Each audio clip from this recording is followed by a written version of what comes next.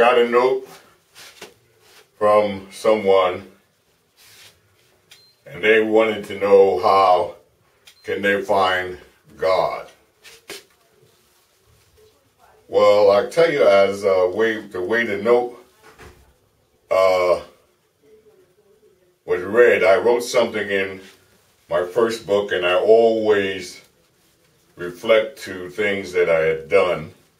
And what I wrote in the first book was read the note, and you'll know where you got the notion. Because if you don't read the note, you won't know where you got the notion. If the note is negative, then the notion came from the devil. If the note is positive, then the notion came from God. Read the note, and you'll know where you got the notion. That's how you will know who to notice, by reading the note. You say you like to know where you got the notion, I tell you to read the note. That's what I put in my first book. Read the note, and you'll know where you got the notion. If you want to recognize God, you can recognize God by people walking down the street. You don't have to know their name, you just have to see their action. They don't have to say anything to you. You just have to recognize their action. How they act will cause you to react, my brothers and my sisters. People have asked me, How do you find God?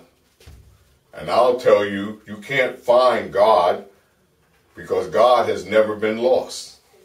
For you to find Him, He has never been lost for you to find Him.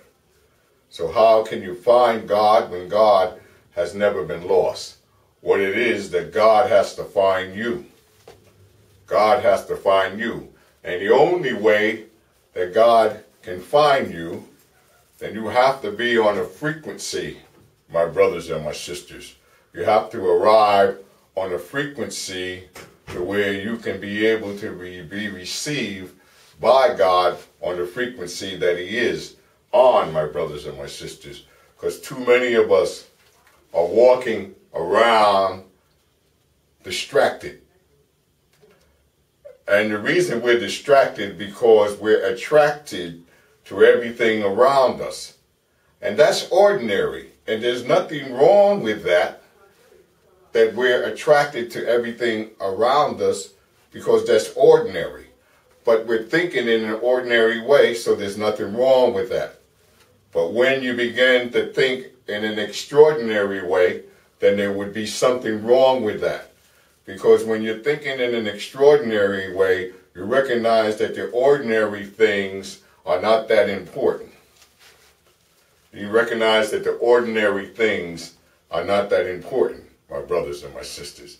If you want to be uh, uh, on a team that's going to win, then you got to get on the team that you know that's been winning most of the games.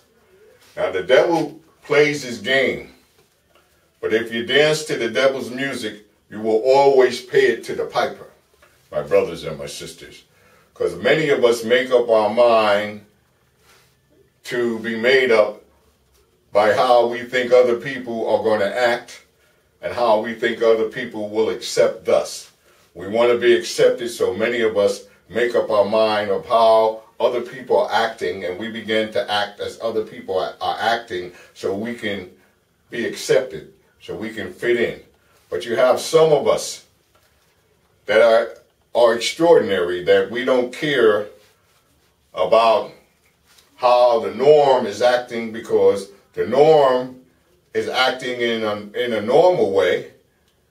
And most of the people acting that normal way, because that's the norm. But the abnorm are acting in an abnormal way, but the abnormal are really normal. If you're working in the in the way of God and you're working as they say that you're abnormal, most people would say that you're abnormal because you're they call you a goody goody or uh, because you don't drink, because you don't smoke, uh, because you don't do things that you know God would not want you to do. So they call you abnormal. And you are abnormal. but you are the normal. Even though you're abnormal, you are the normal. And they are normal with the things that they do because most of the people do the things that they do and they are normal. But they are the ad norm because what they're doing is not how God would want you to do it. So they're abnormal, although they're normal, and you're normal, even though you're abnormal. Follow me when I speak. Follow what I'm saying, my brothers and my sisters. And it is a thing within the norm that people develop attitudes because they don't have gratitude. They develop attitudes because they don't have gratitudes. And I keep rehearsing this to you because when people develop attitudes, listen to me, because they don't have gratitude, that's when I tell you I take altitude. And I tell you all the time, when you take altitude, you can get above the clouds. And when you ride above the clouds, you're so high above the clouds that they can't reach you. And because the clouds are before you, they can't see you. So when people take attitudes, I take altitude because they don't have gratitude, my brothers and my sisters. And I'm saying you have people and people make the world go round. And you must go around with the people that make the world go round. Because ain't nobody better than the next one. I know I use double negatives, but that, I use that for a reason. Ain't nobody better than the next one, my brothers and sisters. So it doesn't make you better, it makes you different. When you get up, because you got tired of sitting down, it doesn't make you better, it makes you different. When you stop crawling and you decide to walk, like when a baby stops crawling and they decide to walk, it makes them different. They get around better, uh, my brothers and my sisters. When you get a baby off of milk and you begin to put them on baby food, my brothers and my sisters, they get stronger. And after a while, they get off that baby food and they begin to eat solid food.